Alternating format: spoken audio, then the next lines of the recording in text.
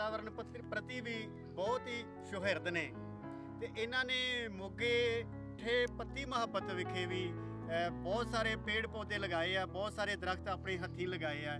ਇਸ ਦੇ ਸੰਬੰਧ ਵਿੱਚ ਵੀ ਆਪਾਂ ਜੋਗਿੰਦਰ ਬਾਠ ਨਾਲ ਗੱਲ ਕਰਦੇ ਹਾਂ ਜੋਗਿੰਦਰ ਬਾਠ ਜੀ ਅਹ, ਜਿਹੜਾ ਵਾਤਾਵਰਣ ਵਰ- ਪ੍ਰਤੀ ਵੀ ਤੁਸੀਂ ਬਹੁਤ ਸੰਵੇਦਨ ਹੋ ਤੇ ਆ ਪੇੜ ਪੌਦੇ ਜਿਹੜੇ ਤੁਸੀਂ ਆਪਣੇ ਘਰ ਦੇ ਨੇੜੇ ਇਸ ਆ ਮੇਨ ਰੋਡ ਜਿਹੜੀ ਅਹ, ਤੇ ਲਵਾਏ ਆ ਇਹਦੇ ਬਾਰੇ ਕੀ ਕਹਿਣਾ ਚਾਹੋਗੇ? ਇਹਦੇ ਬਾਰੇ ਇਉਂ ਆ ਜੀ ਜਿਸ ਤਰ੍ਹਾਂ ਅਸੀਂ ਬਾਹਰ ਲੋਕ ਰਹਿੰਦੇ ਆ ਸਾਨੂੰ ਮਤਲਬ ਕਿ ਜਿਹੜੀ ਪ੍ਰਾਇਮਰੀ ਤੋਂ ਹੀ ਬੱਚਿਆਂ ਨੂੰ ਸਕੂਲ ਦੇ ਵਿੱਚ ਹੀ ਸਿਖਾਇਆ ਜਾਂਦਾ ਹੈ ਵੀ ਵਾਤਾਵਰਨ ਕੀ ਹੈ। ਇਹ ਪੇੜ ਪੌਦੇ ਸਾਡੇ ਲਈ ਕਿੰਨੇ ਜ਼ਰੂਰੀ ਹੈ। ਤੇ ਜਦੋਂ ਅਸੀਂ ਉੱਥੇ ਗਏ ਆ ਇੱਕ ਸਾਡਾ ਵਾ ਜਿੱਥੇ ਅਸੀਂ ਜਿਹੜਾ ਮੁਲਕਾਂ 'ਚ ਰਹਿੰਦੇ ਆ ਸਾਡੇ ਉੱਥੇ ਇੰਡੀਅਨ ਕਮਿਊਨਿਟੀ ਹੈ ਨਹੀਂ ਨਾ ਬਰਾਬਰ ਆ। ਸਾਡਾ ਜਿਹੜਾ ਅਸਲੀ ਵਾ ਪੂਰਾ ਉਹ ਉਹਨਾਂ ਦੇ ਲੋਕਲ ਲੋਕਾਂ ਨਾਲ ਗੋਰੇ ਲੋਕਾਂ ਨਾਲ। ਉੱਥੋਂ ਫਿਰ ਸਾਨੂੰ ਬਹੁਤ ਕੁਝ ਸਿੱਖਣ ਨੂੰ ਮਿਲਦਾ ਜੇ ਅਸੀਂ ਜਿਸ ਤਰ੍ਹਾਂ ਕੈਨੇਡਾ ਅਮਰੀਕਾ ਗੈਟੋ ਚ ਆ ਕੇ ਰਹਿਣਾ ਸ਼ੁਰੂ ਕਰ ਦੇਂਗੇ ਉਹ ਜਦੋਂ ਮੈਂ ਮੈਂ ਆਲੇ ਦੁਆਲੇ ਦੇਖਦਾ, ਮੈਂ ਹਮੇਸ਼ਾ ਆਪਣੀ ਸੋਸ਼ਲ ਮੀਡੀਆ ਤੇ ਵੀਡੀਓ ਪਾਉਂਦਾ ਰਹਿੰਦਾ, ਮੈਂ ਸਾਈਕਲ ਤੇ ਵੀ ਜਾਂਦਾ, ਬਹੁਤ ਵਾਰੀ ਨਿੱਕੇ ਨਿੱਕੇ ਮੈਂ ਫਿਲਮਾਂ ਬਣਾਈਆਂ ਸਾਈਕਲ ਦੇ ਉੱਪਰ।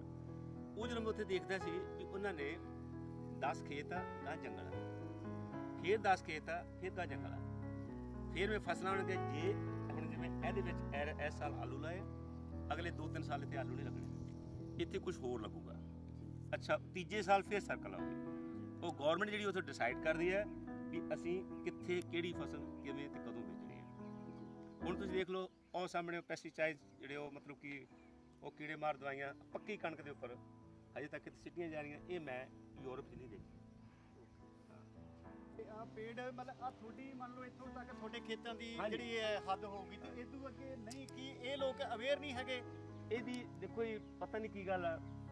ਪਹਿਲਾਂ ਐਸ ਏਰੀਆ ਦੇ ਵਿੱਚ ਸੌਰੀ ਇੰਨੇ ਕੁ ਦਰਖਤ ਹੁੰਦੇ ਸੀ ਮੇਰੇ ਬਚਪਨ ਦੇ ਵਿੱਚ ਪਸ਼ੂ ਚਾਰਦੇ ਸੀ। ਇੱਥੇ ਵਣ ਵੀ ਹੁੰਦੇ ਸੀ ਵੱਡੇ ਵੱਡੇ ਵਣ ਹੁੰਦੇ ਸੀਗੇ ਟਾਲੀਆਂ ਹੁੰਦੀਆਂ ਸੀ ਜੋ ਟਾਲੀਆਂ ਹੁੰਦੀਆਂ ਸੀ। ਔਰ ਮੋਰਾਂ ਦੀ ਸ਼ੰਭਰ ਲੱਗੀ ਹੁੰਦੀ ਸੀ ਕੂਕ ਕੂਕ ਵੀ ਹੁੰਦੀ ਸੀ। ਹਰ ਕਿਸਮ ਦਾ ਜਾਨਵਰ ਇੱਥੇ ਮੇਰੇ ਚ ਹੁੰਦਾ ਸੀ ਇਹ ਖੇਤਾਂ ਦਾ ਭੰਗੋਲ ਨਹੀਂ ਸੀਗਾ।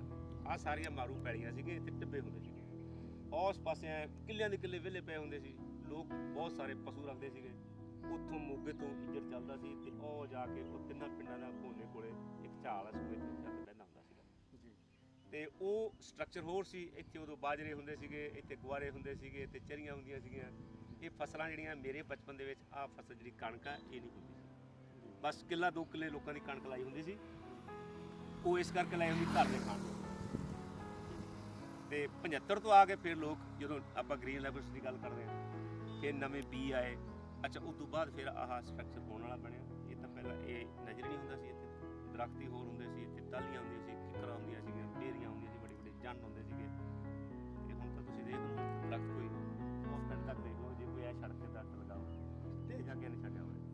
ਲੋਕਾਂ ਨੂੰ ਕੋਈ ਮੈਸੇਜ ਦੇਣਾ ਚਾਹੋਗੇ? ਇਸ ਤੋਂ ਵੱਡਾ ਮੈਸੇਜ ਕੀ ਹੋ ਸਕਦਾ?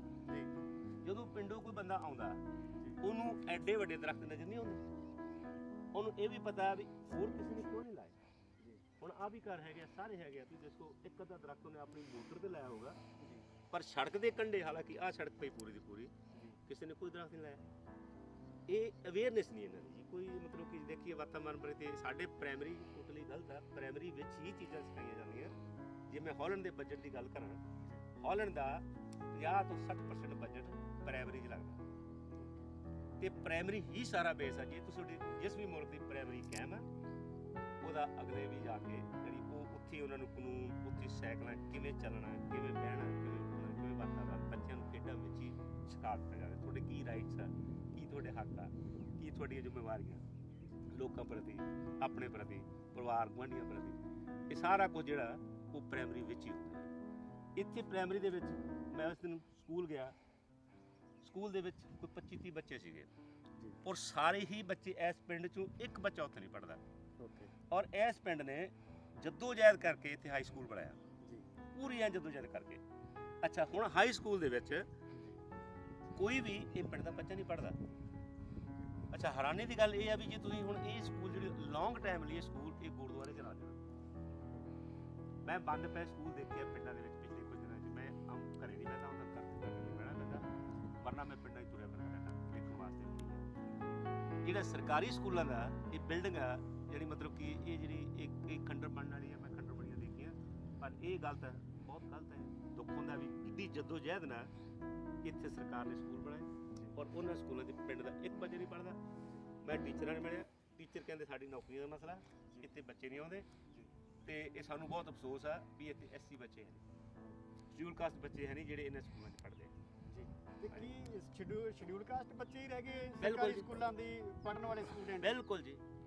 ਉਹ ਤੁਹਾਡੇ ਸਮੇਂ ਕਿਦਾਂ ਸੀਗਾ ਜੀ? ਤੁ- ਜਦੋਂ ਤੁਸੀਂ ਪੜ੍ਹਦੇ ਰਹੇ ਹੋ ਕਿ ਉਦੋਂ ਉਦੋਂ ਜਿਹੜੇ ਐਸੀ ਬੱਚੇ ਪੜ੍ਹਦੇ ਹੁੰਦੇ ਸੀ ਜਾਂ ਉਦੋਂ ਸਾਰੇ ਲੋਕ ਹੀ ਜਿਹੜੇ ਸਰਕਾਰੀ ਸਕੂਲਾਂ ਦੀ ਅਹ, ਦੀ ਪਦਾਇਸ਼ ਸੀਗੇ? ਉਦੋਂ ਤਕਰੀਬਨ ਸਾਰੇ ਲੋਕ ਹੀ ਸਰਕਾਰੀ ਸਕੂਲਾਂ ਦੀ ਪੜ੍ਹਾਈ ਸੀ।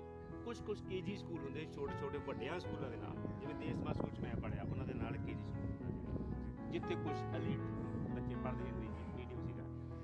ਸਾਨੂੰ ਜਿਹੜੀ ਪਹਿਲੀ ਸਿਖਾਈ ਜਾਂਦੇ ਸੀ, ਪਹਿਲੀ ਦੇ ਵਿੱਚ ਕੂੜਾ ਜਿਹੜਾ, ਦੂਜੀ ਜਾਂ ਤੀਜੀ ਜਾ ਕੇ ਹਿੰਦੀ ਲੱਗਦੀ ਸੀ, ਛੇਵੀਂ ਦੇ ਵਿੱਚ ਜਾ ਕੇ ਅੰਗਰੇਜ਼ੀ ਲੱਗਦੀ ਸੀ। ਤੇ ਜਿਹੜੀਆਂ ਕਲਾਸਾਂ ਹੁੰਦੀਆਂ ਸੀ ਏ ਬੀ ਹੁੰਦੀਆਂ ਸੀ 80 80 90 90 ਬੱਚੇ ਕਈ ਵਾਰੀ ਕਲਾਸ ਦੇ ਵਿੱਚ ਹੁੰਦੇ ਸੀ। ਗੱਲ ਕਰਦੇ ਸੀ ਸਰਕਾਰੀ ਸਕੂਲਾਂ ਦੇ ਹਾਂਜੀ, ਬੱਚਿਆਂ ਦੀ ਹਾਂਜੀ। ਤੁਹਾਡੇ ਸਮੇਂ ਜਿਹੜੇ ਸੀਗੇ ਤੁਸੀਂ ਸਾ- ਕਹਿ ਰਹੇ ਹੋ ਕਿ ਜਿਹੜੇ ਦੇਵ ਸਮਾਜ ਸਕੂਲ ਸੀਗਾ ਹਾਂਜੀ। ਤੁਸੀਂ ਪੜ੍ਹੇ ਹੋ। ਤੇ ਅੱਜ ਜਿਹੜਾ ਹੈਗਾ ਹੈ, ਅਹ, ਸਰਕਾਰੀ ਸਕੂਲ ਆ ਜਿਹੜੇ ਪੰਜਾਬ ਦੇ ਉਹਨਾਂ 'ਚ ਐਸੀ ਬੱਚੇ ਬਹੁਤੇ ਪੜ੍ਹਦੇ ਨੇ ਤੇ ਬਿਲਕੁਲ। ਤੁਹਾਡੇ ਸਮੇਂ ਤੇ ਤੁਹਾਡਾ ਮੰਨਣਾ ਹੈ ਕਿ ਸਾਰੇ ਲੋਕ ਹੀ ਜ਼ਿਆਦਾ ਸਰਕਾਰੀ ਸਕੂਲਾਂ ਦੇ ਪੜ੍ਹਦੇ ਸੀਗੇ ਬਿਲਕੁਲ ਜੀ ਉੱਥੇ ਹਿੰਦੂਆਂ ਦੇ ਬੱਚੇ ਵੀ ਪੜ੍ਹਦੇ ਸੀ ਸਿੱਖਾਂ ਦੇ ਬੱਚੇ ਵੀ ਪੜ੍ਹਦੇ ਸੀ ਜਿਹੜੇ ਥੋੜੇ ਬਹੁਤ ਮੁਸਲਮਾਨ ਬੱਚੇ ਸੀ ਹੁਣ ਤੱਕ ਖੈਰ ਕਾਫੀ ਹੋ ਗਏ ਉਦੋਂ ਹੁੰਦੇ ਹੀ ਨਹੀਂ ਸੀਗੇ ਉਹਨਾਂ ਦੇ ਬੱਚੇ ਵੀ ਪੜ੍ਹਦੇ ਸੀ ਯਾਨੀ ਐਸਸੀਆਂ ਦੇ ਬੱਚੇ ਪੜ੍ਹਦੇ ਸੀ ਤਕਰੀਬਨ ਸ਼ੁਰੂ ਦੇ ਵਿੱਚ ਜਿੰਨੇ ਵੀ ਬੱਚੇ ਹੁੰਦੇ ਸੀ ਵਾਹ ਲੱਗਦੀ ਉਸ ਸਕੂਲਾਂ 'ਚ। ਤੇ ਉਸ ਤੋਂ ਬਾਅਦ ਕੀ ਹੁੰਦਾ ਵੀ ਮਤਲਬ ਕਿ ਜਿਹੜੀ ਹੁਣ ਮੈਂ ਭਾਸ਼ਾ ਦੀ ਗੱਲ ਦੱਸੀ ਹੈ ਪਹਿਲਾਂ ਕੱਲੀ ਦੂਜੀ ਤੀਜੀ ਤੱਕ ਪੰਜਾਬੀ ਹੁੰਦੀ ਸੀਗੀ। ਫਿਰ ਸਾਨੂੰ ਹਿੰਦੀ ਲੱਗਦੀ ਸੀ।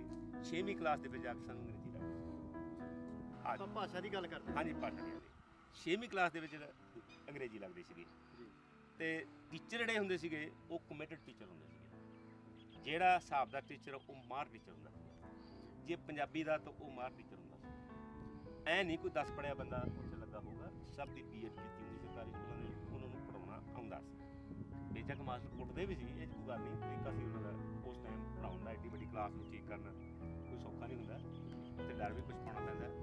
ਪਰ ਅਸੀਂ ਤਕਰੀਬਨ ਸਾਰੇ ਜਿਹੜੇ ਮੇਰੇ ਯਾਰ ਮਿੱਤਰ ਵੀ ਸੀ ਅਸੀਂ ਤਕਰੀਬਨ ਸਾਰੇ ਸਰਕਾਰੀ ਸਕੂਲਾਂ ਦੇ ਪੜ੍ਹੇ ਆ। ਆਹ ਤੁਹਾਡੇ ਸਾਹਮਣੇ ਆ ਬਾਹਰ ਵੀ ਗਏ ਆ। ਅੰਗਰੇਜ਼ੀ ਵੀ ਬੋਲ ਲਈਦੀ ਹੈ ਡੱਚ ਵੀ ਬੋਲ ਲਈਦੀ ਹੈ ਜਰਮਨੀ ਵੀ ਬੋਲ ਤੇ ਇੱਕ ਮੈਂ ਤੁਹਾਡੇ ਮੂੰਹੋਂ ਸੁਣਨਾ ਹੈ ਮੈਂ ਕਿਉਂਕਿ ਮੈਂ ਤੁਹਾਨੂੰ ਫੇਸਬੁੱਕ ਤੋਂ ਪਿਛਲੇ 4 ਸਾਲਾਂ ਤੋਂ ਤੁਹਾਡੀਆਂ ਲਿਖਤਾਂ ਨੂੰ ਪੜ੍ਹਦਾ ਆ ਰਿਹਾ ਜਿੱਥੇ ਤੁਹਾਡੇ ਸੋਸ਼ਲ ਮੀਡੀਆ ਦੇ ਹਜ਼ਾਰਾਂ ਪਾਠਕ ਨੇ ਉਹਦੇ ਵਿੱਚੋਂ ਇੱਕ ਮੈਂ ਵੀ ਆ ਤੇ ਤੁਹਾਡਾ ਮੋਗਾ ਜਿਹੜਾ ਤੁਹਾਡੀਆਂ ਨਜ਼ਰਾਂ 'ਚ ਮੋਗਾ ਉਹ ਸਾਡੀਆਂ ਨਜ਼ਰਾਂ 'ਚ ਵੀ ਉਹ ਉਹਦੇ ਬਾਰੇ ਥੋੜਾ ਜਿਹਾ ਬਿਆਨ ਕਰੋ ਵੀ। ਮੋਗਾ ਜੀ ਜੇ ਤੁਸੀਂ ਦੇਖੋ ਮੋਗੇ ਬਾਰੇ ਤਾਂ ਇੱਕ ਬੋਲੀ ਮਸ਼ਹੂਰ ਆ ਜੀ। ਜੀ। ਪਿੰਡਾਂ ਵਿੱਚੋਂ ਪਿੰਡ ਸਨੀ ਦਾ ਪਿੰਡ ਸਨੀ ਦਾ ਮੋਗਾ ਜੀ। ਇਹ ਪਿੰਡ ਸੀ। ਜੀ। ਮੋਗਾ ਤਾਂ ਮੇਰੀ ਬਚਪਨ ਦੇ ਵਿੱਚ ਮੋਗਾ ਪੁਰਾਣਾ ਮੋਗਾ ਤੇ ਸਿਰਫ ਥੋੜਾ ਬਹੁਤ ਚੌੜਾ ਬਾਜ਼ਾਰ ਸੀ ਤੇ ਜਾਂ ਨਵਾਂ ਟਾਊਨ ਬਣਿਆ ਹੋਇਆ ਸੀਗਾ ਰੀਗਲ ਸਿਨੇਮਾ ਸੀਗਾ ਤੇ ਰੇਲਵੇ ਰੋਡ ਸੀ, ਉਸ ਤੋਂ ਅੱਗੇ ਅਜਾੜ ਪਿਆ ਹੁੰਦਾ ਸੀ, ਅੱਗੇ ਉਹ ਮਲਕਾਂ ਦਾ ਪੁੱਤ ਹੁੰਦਾ ਸੀ ਉਸ ਤੋਂ ਬਾਅਦ ਇਧਰਲੇ ਪਾਸੇ ਨੂੰ ਚੱਲ ਜਾਓ ਜਾਂ ਗੁਲਾਬੀ ਬਾਗ ਸੀਗਾ ਤਕਰੀਬਨ ਸਾਰਾ ਕਾਲੀ ਹੁੰਦਾ ਸੀ।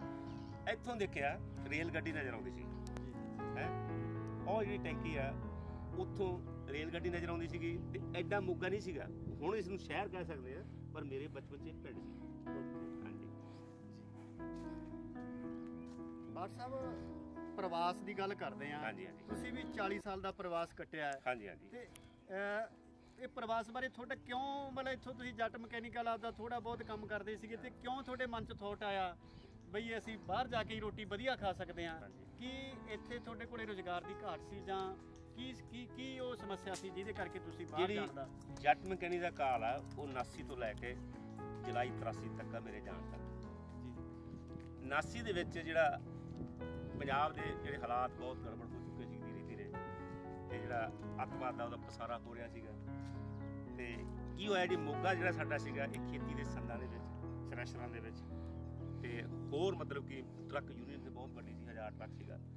ਯਾਨੀ ਮੋਗੇ ਦੀ ਆਪਣੀ ਲੁਧਿਆਣੇ ਦੇ ਬਾਅਦ ਇੱਕ ਬਹੁਤ ਵੱਡੀ ਇਕਨੋਮੀ ਸੀ। ਔਰ ਮੋਗਾ ਸਾਰੇ ਇਰਾਨ ਤੱਕ ਮਸ਼ਹੂਰ ਸੀ। ਇੱਥੋਂ ਇਰਾਨ ਤੱਕ ਮਸ਼ੀਨਾਂ ਜਾਂਦੀਆਂ ਸੀ, ਇੱਥੇ ਨੇਪਾਲ ਤੱਕ ਮਸ਼ੀਨਾਂ ਜਾਂਦੀਆਂ ਸੀ। ਮੋਗੇ ਦੇ ਜਿਹੜੇ ਥ੍ਰੈਸ਼ਰ ਸੀਗੇ, ਦਿੱਲੀ ਦੇ ਵਿੱਚ ਐਗਜੀਬਿਸ਼ਨਾਂ ਲੱਗਦੀਆਂ ਸੀਗੀਆਂ। ਉੱਥੋਂ ਗਾਂ ਬੜੀ ਦੂਰ ਤੱਕ ਜਾਂਦੇ ਸੀ।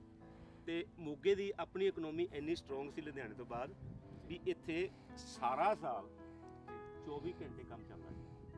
ਕੋਈ ਆਹ ਪਾਰਟਸ ਬਣਾ ਰਿਹਾ ਕੋਈ ਉਹ ਪਾਰਟਸ ਬਣਾ ਰਿਹਾ ਮਸ਼ੀਨ ਦਾ ਕੋਈ ਉਹ ਚੀਜ਼ ਬਣਾ ਰਿਹਾ ਕੋਈ ਸ਼ਾਰਪਨਰ ਬਣਾ ਰਿਹਾ ਕੋਈ ਬੈਰਗਾ ਯਾਨੀ ਸਾਰਾ ਸਾਲ ਹੀ ਮਸ਼ੀਨਾਂ ਦੀ ਤਿਆਰੀ ਹੁੰਦੀ ਸੀ। ਤੇ ਨਵੰਬਰ ਤੱਕ ਜਿਹੜਾ ਯੂਪੀ ਬਿਹਾਰ ਦਾ ਵਪਾਰੀ ਸੀ ਜਾਂ ਨੇਪਾਲ ਦਾ ਵਪਾਰੀ ਇੱਥੇ ਮੋਗੇ ਦੇ ਵਿੱਚ ਉਹਨਾਂ ਦੀ ਕੰਪਨੀ ਹਾਂਜੀ? ਤੇ ਅੱਧਾ ਮੋਗਾ ਹਿੰਦੀ ਬੋਲਣਾ ਪੈਂਦਾ ਸੀ ਵਪਾਰੀ ਸੀ। ਫਿਰ ਕੀ ਹੋਇਆ ਵੀ ਜਿਵੇਂ ਜਿਵੇਂ ਅੱਤਵਾਦ ਚੜਦਾ ਗਿਆ, ਬਾਹਰਲਾ ਵਪਾਰੀ ਡਰ ਗਿਆ। ਉਹਨੇ ਉੱਥੇ ਆਉਣਾ ਬੰਦ ਕਰ ਦਿੱਤਾ ਤੇ 1983 ਤੱਕ ਲੋਕਾਂ ਦੀਆਂ ਮਸ਼ੀਨਾਂ ਖੜੀਆਂ ਰਹਿ ਗਈਆਂ ਸੀ। ਲੋਕ ਖੁਦ ਉਧਰਲੇ ਪਾਸੇ ਜਾਣ ਲੱਗ ਪਏ। ਜਾਂ ਮਤਲਬ ਇੱਕਦਮ ਜਿਹੜੀ 83 ਤੱਕ ਸਾਰਾ ਕੁਝ ਮੋਗੇ ਦੇ ਇੰਡਸਟਰੀ ਦੀ ਗੱਲ ਕਰਦੇ ਸੀਗੇ ਵੀ ਲੁਧਿਆਣੇ ਤੁਸੀਂ ਕਿਹਾ ਵੀ ਲੁਧਿਆਣੇ ਤੋਂ ਬਾਅਦ ਮੋਗੇ ਦਾ ਨਾਮ ਆਉਂਦਾ ਸੀ ਇੰਡਸਟਰੀ 'ਚ। ਹਾਂਜੀ ਹਾਂਜੀ ਇੱਥੇ ਤਕਰੀਬਨ ਬਾਡੀ ਮੇਕਰ ਸੀਗੇ ਟਰੱਕਾਂ ਨੂੰ ਬਾਡੀਆਂ ਲੱਗਦੀਆਂ ਸੀਗੀਆਂ ਗੁਲਾਬੀ ਬਾਗ ਸਾਰਾ ਸੀਟਾਂ ਦਾ ਕੰਮ ਕਰਦਾ ਸੀ ਬਾਡੀਆਂ ਦਾ ਕੰਮ ਕਰਦਾ ਸੀ ਰੰਗ ਵਾਲੇ ਹੁੰਦੇ ਸੀ ਪੇਂਟਰ ਹੁੰਦੇ ਸੀਗੇ। ਯਾਨੀ ਬਹੁਤ ਲੰਬਾ ਚੌੜਾ ਮੋਗੇ ਦੀ ਇੰਡਸਟਰੀ ਦਾ ਪਸਾਰਾ ਸੀਗਾ। ਜੀ। ਤੇ ਮਤਲਬ ਕਿ ਉਹ ਪਸਾਰਾ ਜਿਵੇਂ ਜਿਵੇਂ ਦੱਸਿਆ ਵੀ ਪਹਿਲਾਂ ਵੀ ਜਿਵੇਂ ਜਿਵੇਂ ਆਤਮਾ ਚੜਦਾ ਗਿਆ ਉਹ ਸਾਰਾ ਕੁਝ ਡਾਊਨ ਤੇ ਇੱਥੇ ਤਕਰੀਬਨ ਜਿਹੜੀ ਵੱਡੀਆਂ ਫਰਮਾਂ ਸੀਗੀਆਂ, ਜਿਵੇਂ ਦਾਰਾ ਥ੍ਰੈਸ਼ਰ ਸੀਗੇ, ਉਹ ਪੂਰੇ ਤਰੀਕੇ ਨਾਲ ਕੰਮ ਕਰਦੇ ਸੀ। ਉਹਨਾਂ ਦੇ ਥ੍ਰੈਸ਼ ਇਰਾਨ ਤੱਕ ਵੀ ਜਾਂਦੇ ਰਹੇ, ਉਹਨਾਂ ਦੇ ਨੇਪਾਲ ਤੱਕ ਵੀ ਜਾਂਦੇ ਰਹੇ। ਦੂਜੇ ਮਾਧੋ ਵਾਲੇ ਬਹੁਤ ਵੱਡੀ ਸੀਗੇ ਤੇ ਤੀਜੇ ਕਈ ਹੁੰਦੇ ਸੀ। ਕਈ ਅਸਲ ਦੇ ਵਿੱਚ ਲਾਲੇ ਸੀ ਸ਼ਹਿਰ ਦੇ, ਪਰ ਉਹ ਇਸ ਕੰਮ 'ਚ ਪੈ ਗਏ। ਇਹ ਉਹ ਸਭ ਤੋਂ ਜ਼ਿਆਦੀਆਂ ਮਸ਼ੀਨਾਂ ਉਹ ਬਣਾਉਂਦੇ ਸੀ, ਪਰ ਉਹਨਾਂ ਦੀ ਮਸ਼ੀਨਾਂ ਦੀ ਕੁਆਲਿਟੀ ਨਹੀਂ ਹੁੰਦੀ ਸੀ। ਉਹ 2000 ਮਸ਼ੀਨ ਵੀ ਬਣਾਉਂਦੇ ਰਹੇ ਉਹਨਾਂ 'ਚ। ਇੱਕ ਵਾਰੀ ਕੋਈ ਅੰਗਰੇਜ਼ ਲੋਕ ਆਏ, ਉਹਨਾਂ ਨੇ ਦੇਖਿਆ ਵੀ ਇਹ ਇੰਡਸਟਰੀ ਦੇਖਣੀ ਹੈ ਵੀ ਇੰਡਸਟਰੀ ਸਾਰੀ ਕਿਹੋ ਜੀ ਹੈ। ਉਹਨਾਂ ਨੇ ਅੰਦਰ ਦੇਖਿਆ ਵੀ ਅੰਦਰ ਤਾਂ ਨਾ ਕੋਈ ਮਸ਼ੀਨ ਆ ਆ ਲੋਹਾ ਵੱਢਣ ਵਾਲਾ ਤੇ ਜਾਂ ਕੱਟਣ ਵਾਲਾ ਜਾਂ ਵੈਲਡ ਕਰਨ ਵਾਲਾ ਚੌਥੇ ਤਾਂ ਕੁਛ ਹੈ ਨਹੀਂ। ਉਹਨਾਂ ਨੇ ਇਹ ਕੀਤੇ ਇਹ ਕਿਹਾ ਜਾ ਕੇ ਆਪਣੀ ਰਿਪੋਰਟ ਦੇ ਵਿੱਚ ਵੀ ਅਸੀਂ ਮੋਗੇ ਇੰਡਸ- ਮਸ਼ੀਨਾਂ ਬਗੈਰ ਮਸ਼ੀਨਾਂ ਤੋਂ ਮਸ਼ੀਨਾਂ ਬਣਦੀਆਂ ਵੇਖੀਆਂ। ਬਗੈਰ ਮਸ਼ੀਨਾਂ ਬੈ ਬਗੈਰ ਮਸ਼ੀਨਾਂ ਤੋਂ ਮਸ਼ੀਨਾਂ ਬਣਦੀਆਂ ਵੇਖੀਆਂ ਮੋਗੇ ਅਸੀਂ। ਔਰ ਮੇਰਾ ਖਿਆਲ ਕਿ ਪੰਜਾਬ ਵਿੱਚ ਸਭ ਤੋਂ ਪਹਿਲਾਂ ਜਿਹੜੀ ਦਾਣੇ ਕੱਢ ਆ ਜਿਹੜੀ ਹੁਣ ਆਪਣੇ ਜਿਹਨੂੰ ਆਪਾਂ ਕਹਿੰਦੇ ਆ ਕਿ ਕੰਬਾਈਨ ਉਹ ਇੱਥੇ ਮੋਗੇ ਸੋਢੀ ਰਹਿੰਦੀ ਸੀ ਚਾਰ ਜਨਮ ਇਹ ਕਿਹੜੇ ਸਾਲ ਦੀ ਗੱਲ ਹੋ ਗਈ ਡਾਕਟਰ ਇਹ ਗਨ ਜੇ ਘੱਟੋ ਘੱਟ 72 73 ਸਾਲ ਦੀ ਹੋਊ। ਤੇ ਉਹ ਮਸ਼ੀਨਾਂ ਤਕਰੀਬਨ ਉਹਨਾਂ ਨੇ ਬਹੁਤ ਸਾਲ ਚਲਾਈਆਂ ਤੇ ਲੋਕ ਹੈਰਾਨ ਹੁੰਦੇ ਸੀ ਵੀ ਇਹ ਐਡਾ ਵੱਡਾ ਜਗਾੜਾ ਜਾਂ ਕੀ ਕਰੂਗਾ ਕਿੱਧਰ ਤੁਰਿਆ ਹੁੰਦਾ? ਤੇ ਮਨੇ ਮਤਲਬ ਕਿ ਜੇ ਜੇ- ਦੇਖੀਏ ਥ੍ਰੈਸ਼ਰ ਦਾ ਵੀ ਮੈਨੂੰ ਨਹੀਂ ਪਤਾ ਦੂਸਰੇ ਸ਼ਹਿਰਾਂ ਦਾ ਪਰ ਜੇ ਮੈਂ ਦੇਖਾਂ ਇਹ ਮਸ਼ੀਨਾਂ ਵਾਲਾ ਜਿਹੜਾ ਆਪਾਂ ਕਹਿੰਦੇ ਆ ਕੰਬਾਈਨ ਕਹਿੰਦੇ ਆ ਉਹ ਮੈਂ ਜ਼ਿੰਦਗੀ 'ਚ ਮੋਗੇ ਪਹਿਲੀ ਵਾਰੀ ਦੇਖੀ ਮਤਲਬ ਉਦੋਂ ਪਹਿਲੀ ਵਾਰ ਮੋਗੇ 'ਚ ਜਿਹੜੀ ਇਹ ਕੰਬਾਈਨ ਜਿਹੜੀ ਹੈ। ਇਹ ਪਹਿਲੀ ਵਾਰ ਤੁਸੀਂ 1973 74 74 74 ਦੇ ਵਿੱਚ ਦੇਖੀ ਹੋਊਗੀ ਇਹ- ਹਾਂਜੀ ਇਹ ਮੈਂ ਉਦੋਂ ਪੂਰਾ ਸਮਾਂ ਯਾਦ ਨਹੀਂ। ਇਹ ਇਹਦੇ ਜਿਹੜੀ ਆਮਦ ਹੋਈ ਹੈ ਇਸ ਕੰਬਾਈਨ ਦੀ ਇਹ 73 74 ਵਿੱਚ ਪੰਜਾਬ 'ਚ ਉਸ ਕੰਬਾਈਨ ਦੀ ਆਮਦ ਹੋਈ ਹੈ ਹਾਂਜੀ ਪੰਜਾਬ ਵਿੱਚ। ਹਾਂਜੀ ਹਾਂਜੀ ਹਾਂਜੀ ਜੀ। ਤੇ ਇਹ ਵੀ ਜਿਹੜੇ ਮਤਲਬ ਕਿ ਇਹ ਸੋਢੀ ਸੀਗੇ ਇਹ ਵੀ ਦਾਰਾ ਥ੍ਰੈਸ਼ਰ ਵਾਲਿਆਂ ਦੇ ਰਿਸ਼ਤੇਦਾਰ ਸੀਗੇ। ਤੇ ਔਰ ਇਹਨਾਂ ਨੇ ਸਭ ਤੋਂ ਪਹਿਲਾਂ ਇਹ ਮੇਰੇ ਖਿਆਲ ਚਾਰ ਮਸ਼ੀਨਾਂ ਨੇ। ਮੈਨੂੰ ਪੂਰਾ ਯਾਦ ਨਹੀਂਗਾ ਹੁਣ ਬਚਪਨ ਦੀ ਗੱਲ ਹੈਗੀ ਆ। ਚਾਰ ਮਸ਼ੀਨਾਂ ਸੀ ਤੇ ਜਦੋਂ ਐ ਲੰਘਦੀਆਂ ਸੀ ਨਾ ਤੇ ਲੋਕ ਡਰ ਜਾਂਦੇ ਸੀ ਵੀ ਇਹ ਐਡਾ ਵੱਡਾ ਜਗਾੜਾ ਜਾਂ ਕੀ ਤੁਰਿਆ ਜਾਂਦਾ। ਹਾਂ ਤੇ ਮਗਰੋਂ ਉਹ ਬਹੁਤ ਸਾਲ ਉਹਨਾਂ ਨੇ ਮਸ਼ੀਨਾਂ ਲਈਆਂ ਉਹਨਾਂ ਮਸ਼ੀਨਾਂ ਨੂੰ ਵੇਖ ਕੇ ਮੋਗੇ ਦੇ ਕਾਰੀਗਰਾਂ ਨੇ ਉਹਨਾਂ ਦੀ ਨਕਲਾਂ ਬਣਾਉਣੀ ਸ਼ੁਰੂ ਕਰ ਦਿੱਤੀਆਂ ਬਾਅਦ 'ਚ। ਜੀ। ਹਾਂਜੀ। ਹਾਂ ਆਪਾਂ ਪ੍ਰਵਾਸ ਦੀ ਵੀ ਗੱਲ ਕਰਦੇ ਹਾਂਜੀ ਸੀਗੇ। ਪ੍ਰਵਾਸ ਦੀ ਗੱਲ ਫਿਰ ਤੁਸੀਂ ਜਦੋਂ ਮੰਨ ਲਓ ਇੱਥੋਂ ਚਲੇ ਗਏ। ਅੱਤਵਾਦ ਆ ਗਿਆ। ਹਾਂਜੀ ਕੰਮ ਠੱਪ ਹੋ ਗਏ ਸਾਰੇ। ਤੁਸੀਂ ਅੱਤਵਾਦ ਤੋਂ ਪਹਿਲਾਂ ਹੀ ਬਾਹਰ ਚਲੇ ਗਏ ਸੀ ਹਾਂਜੀ ਮੈਂ 8 ਜੁਲਾਈ 1983 ਨੂੰ ਗਿਆ ਉਦੋਂ ਅੱਤਵਾਦ ਸ਼ੁਰੂ ਹੋ ਰਿਹਾ ਸੀ। ਹੋ ਗਿਆ ਸੀ ਪੂਰਾ ਹੋ ਗਿਆ ਸੀ। ਪੂਰਾ। ਮਤਲਬ ਕਿ ਉਦੋਂ ਉਸੇ ਸਾਲ ਹੀ ਮੇਰਾ ਖਿਆਲ 84 ਚ ਹਮੰਦਰ ਸਾਹਿਬ ਅਟੈਕ ਹੁੰਦਾ ਤੇ ਉਸੇ ਸਾਲ ਹੀ ਅਕਤੂਬਰ ਚ ਮੇਰਾ ਗਾਂਧੀ। ਅਸੀਂ ਉਦੋਂ ਚਲੇ ਗਏ ਸੀ। ਇੱਥੇ ਅੱਜ ਵਾਲੀ ਹਾਲਤ ਸੀ ਜਿਵੇਂ ਹੁਣ ਕਰਫਿਊ ਲੱਗਾ। ਉਦੋਂ ਕਰਫਿਊ ਇੱਥੋਂ ਬਾਹਰੋਂ ਤਾਂ ਸਾਨੂੰ ਕੋਈ ਨਾ ਖਬਰ ਆ ਜਾਂਦੀ ਸੀ। ਕਿਉਂਕਿ ਜਰਮਨ ਟੀਵੀ ਉਹ ਖਬਰਾਂ ਦਿੰਦਾ ਸੀ ਬੀਬੀਸੀ ਦਿੰਦਾ ਸੀ। ਤੇ ਪਰ ਇੱਥੋਂ ਦੇ ਲੋਕਾਂ ਨੂੰ ਮੈਨੂੰ ਪਤਾ ਲੱਗਦਾ ਸੀ ਕੋਈ ਖਬਰ ਨਹੀਂ ਉਦੋਂ ਚਿੱਠੀਆਂ ਹੁੰਦੀਆਂ ਸੀ ਫੋਨ ਵੀ ਨਹੀਂ ਹੁੰਦਾ ਸੀ ਕੋਈ ਉਹਨਾਂ ਵੇਲੇ। ਗੱਲ ਕਰਾਂਗੇ ਅੱਜ ਦੇ ਪ੍ਰਵਾਸ ਦੀ। ਅੱਜ ਦਾ ਸਾਡਾ ਜਿਹੜਾ ਯੂਥ ਹੈ ਪੰਜਾਬ ਦਾ, ਉਹ ਵੀ ਜਿਹੜਾ ਪ੍ਰਵਾਸ ਨੂੰ ਹੀ ਜ਼ਿਆਦਾ ਤਰਜੀਹ ਦੇ ਰਿਹਾ ਹੈ। ਮੈਂ ਦੇਖਦਾ ਵੀ 80% ਜਿਹੜੇ ਨੌਜਵਾਨ ਹੈ, ਉਹ ਵਿਦੇਸ਼ ਨੂੰ ਹੀ ਪਹਿਲ ਦੇਣੀ ਚਾਹੁੰਦੇ ਆ। ਤੁਸੀਂ ਤੁਹਾਡਾ ਤੁਹਾਡਾ ਕੀ ਮੰਨਣਾ ਹੈ ਵੀ ਸਾਨੂੰ ਇੱਥੇ ਵਧੀਆ ਰੁਜ਼ਗਾਰ ਨਹੀਂ ਮਿਲਦਾ, ਜਾਂ ਸਾਡੀਆਂ ਸਰਕਾਰਾਂ ਦੀਆਂ ਪਾਲਿਸੀਆਂ ਗਲਤ ਨੇ, ਜਾਂ ਜਾਂ ਯੂਥ ਦਾ ਰੁਝਾਨ ਹੀ ਉਧਰ ਨੂੰ ਜਾਣਾ ਚਾਹੁੰਦਾ ਉਹਦੇ ਚ ਹੁਣ ਦੋ, ਤਿੰਨ ਗੱਲਾਂ। ਉਦੋਂ ਕੋਈ ਕੋਈ ਬਾਹਰ ਜਾਂਦਾ ਸੀਗਾ ਤੇ ਬਾਹਰ ਦੀ ਪੋਸਿਬਿਲਿਟੀ ਵੀ ਕੋਈ ਨਹੀਂ ਸੀ। ਉਦੋਂ ਪਿੰਡਾਂ ਆ ਸਾਡੇ ਏਰੀਆ ਵਿੱਚ ਮੈਂ ਹੀ ਇਕੱਲਾ ਗਿਆ ਸੀ। ਉਹ ਵੀ ਜਰਮਨ ਦਾ, ਉਦੋਂ ਖੈਰ ਵੀਜ਼ੇ ਥੋੜੇ ਜਿਹੇ ਆਸਾਨ ਲੱਗ ਜਾਂਦੇ ਕਿ ਤੁਸੀਂ ਐਮਬੈਸੀ ਨੂੰ ਵੀਜ਼ੇ ਪੁੱਛਦੇ ਸੀ, ਮੇਰੇ ਕੋਲ ਬੈਨਾਰਸ ਦਾ ਵੀਜ਼ਾ ਸੀ ਚੱਲ ਉਸ ਤੋਂ ਬਾਅਦ ਅਗਲੀ ਸੈਟਿੰਗ ਦੀ ਤਾਂ ਹੁਣ ਬਾਅਦ ਦੀ ਗੱਲ ਆ ਨਾ, ਜਦੋਂ ਦੂਜਾ ਪਾਰਟ ਜਾ ਕੇ ਦਾ ਲਿਖਿਆ, ਉਹਦੇ ਵਿੱਚ ਸਾਰੇ ਵੇਰਵੇ ਆਉਣਗੇ ਵੀ ਕਿ ਕਿੰਨੀ ਔਖੀ ਤਰੀਕੇ ਨਾਲ ਉੱਥੇ ਰਹਿਣਾ ਸੀ ਸਾਡੇ ਟਾਈਮ ਤੇ। ਮੈਂ ਉਹਨੂੰ ਮਿਸਤਰੀਆਂ ਦੀ ਭਾਸ਼ਾ 'ਚ ਕਹਿੰਦਾ ਹੁੰਦਾ ਸੀ ਵੀ ਪੰਜ ਸੂਤ ਦੀ ਚਾਦਰ 'ਚ ਉਂਗਲ ਨਾਲ ਮੋੜੀ ਕਰਨੀ। ਸੀ ਇਦੋਂ ਤੁਸੀਂ ਇਦੋਂ ਔਖਾ ਵਰਮੇ ਨਾਲ ਨਹੀਂ ਉਂਗਲ ਨਾਲ ਜੀ ਠੀਕ ਹੈ ਇੰਨਾ ਔਖਾ ਸੀਗਾ ਜੀ ਤੇ ਉਦੋਂ ਵੀ ਜਿਹੜੇ ਪ੍ਰਵਾਸ ਦਾ ਮੁੱਦਾ ਸੀ ਉਦੋਂ ਜ਼ਿਆਦਾ ਆਰਥਿਕ ਸੀ ਉਦੋਂ ਲੋਕ ਇਹ ਸੋਚਦੇ ਸੀ ਬਾਹਰ 5-7 ਸਾਲ ਲਾਵਾਂਗੇ ਤੇ ਵਾਪਸ ਆਵਾਂਗੇ। ਜਿਹੜੀ ਸਾਡੇ ਵਾਲੀ ਪੀੜ੍ਹੀ ਸੀ ਉਹਨਾਂ ਨੇ ਸਾਰੇ ਪੈਸੇ ਤਕਰੀਬਨ ਘਰਾਂ 'ਚ ਭੇਜੇ ਆਪਣੇ ਭੈਣਾਂ ਭਰਾਵਾਂ ਨੂੰ ਭੇਜੇ ਉਹਨਾਂ ਨੂੰ ਪਿਕਅਪ ਕੀਤਾ ਉਹਨਾਂ ਦੀਆਂ ਵਿਆਹ ਸ਼ਾਦੀਆਂ ਕੀਤੀਆਂ ਘਰ ਮਕਾਨ ਬਣਾਏ। ਤੇ ਉਸ ਤੋਂ ਬਾਅਦ ਜਿਹੜੀ ਹੁਣ ਨਵੀਂ ਪੀੜ੍ਹੀ ਹੈ ਇਹ ਇੱਕ ਹਿਸਾਬ ਦਾ ਇੱਕ ਵੀ ਇੱਕ ਸ਼ੌਂਕ ਬਣ ਗਿਆ ਵੀ ਬਾਹਰ ਮੈਂ ਜਾਣਾ